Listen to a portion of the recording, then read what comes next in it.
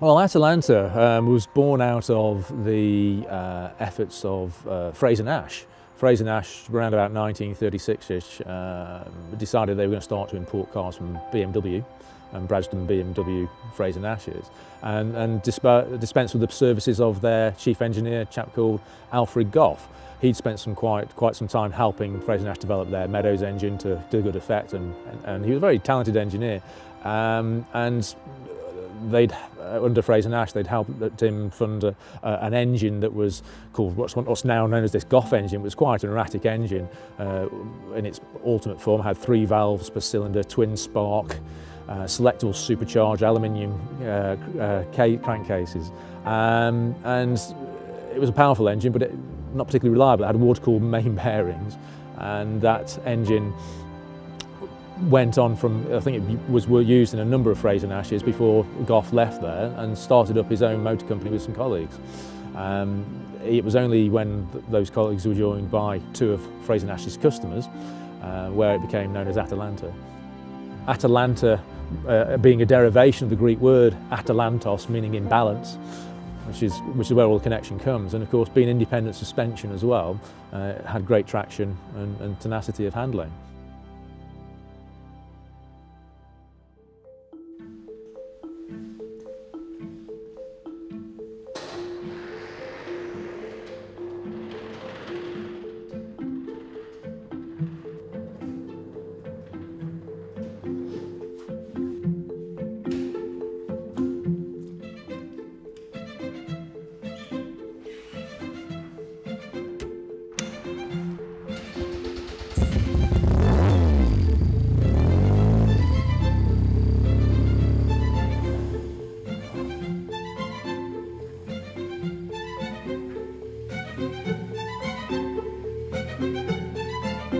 Basically what happened, they started the, the, company around about 36. They were joined by a chap called uh, Neil Watson, but also by Peter Whitehead as well, which I think were quite well funded family. And Peter Whitehead went on to get Jaguar the first Le Mans win.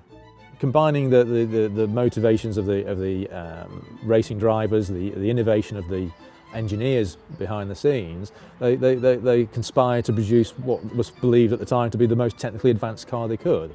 The downfall of the company really came in about 1939 for the, for the start of the war. Efforts were turned over to, I believe, genset and um, uh, pump production, which the company then maintained post-war and continued up into the 1990s, as I understand it. I saw an, um, an Atalanta up for sale. I knew what an Atalanta was, obviously from prior experience. And that uh, was in a provincial auction. I recognised it to be the Le Mans car and um, set about to try and acquire that and at the same time check to make sure I could get hold of the trademarks and, uh, and register the company. The, the whole challenge for me was not just to restore the car that was available, but to restore a motor company particularly one with an interesting heritage that nobody had ever really heard of. There's some, there's some great characters involved in, the, in that project pre-war, including Bertelli from Aston Martin, Dennis Poore was involved, who also went on to run the British motorcycle industry during the 50s. And the company did have a number of successes, both ran the cars at Brooklands, it ran the Welsh Rally in 1939, the team prize, and, and then also in post-war, not a lot of people know about it. And I thought it was a great British story to, to, to resurrect.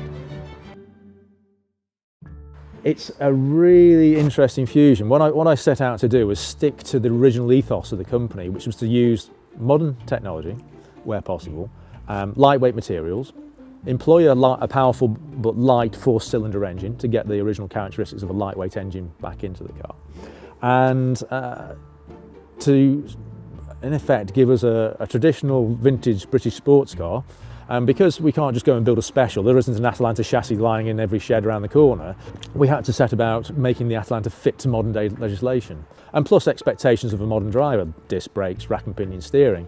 But what I wanted to do was make sure that we didn't do away with the character, retain as much character. So it was really about a pared back experience to make sure that it was, we just got the essence of the driving environment has all the character and all the fun of driving a vintage car from the ones I've driven, with a lot of the harshness taken out of it uh, and a little bit of ease put into there and a bit of, bit of practicality.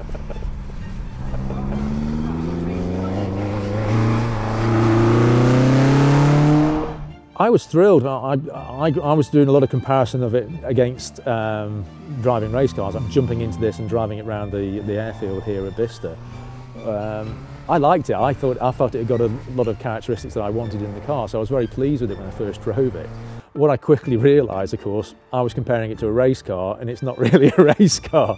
Uh, so we've had to detune a lot of that uh, effort and, and really focused uh, on, on the suspension more than anything else in terms of the spring rates, the damping, um, some of the geometry revisions on the steering. And, and that's really starting to come alive. We've made big advancements in the last sort of month or so on doing that, and there's, there's still about 20% to go on that.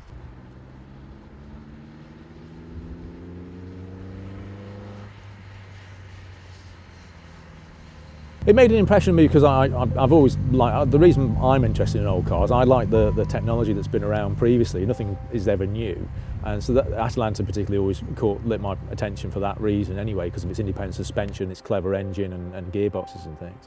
And it's the whole romance and the idea of that technical innovation, uh, you know, YT to technology, if you like, going into the war, and then it, this whole story disappearing. So I think for me. Um, I felt, because I understood what it was and not many people did, I felt inclined to really be the ambassador for it. Uh, I now own three of the surviving Atalantas. I think there were 20, about, we've identified about 22 cars originally, uh, 26 made potentially originally, but we've identified 22 of them cleanly as clear identities. Um, we estimate to be about seven or eight cars left today. Uh, it really is about revival and um, restoration of a motor company. And what I'm striving to achieve is, is continuity of that. And that's a, a continuous order book, producing a, a, nominal amount of cars per year. We really are only wanting to produce about 12 a year, maximum anyway. We hope to ramp up to that over the next next couple of years. Can't see any reason why that won't be from the strength of inquiries we have had. Um, what I would say is that we have a platform there that we've developed and Atalanta did have a post-war history too in the form of the RGS Atalanta and that had a whole other set of innovations attached to it and I'm looking to evolve that at some point in the future.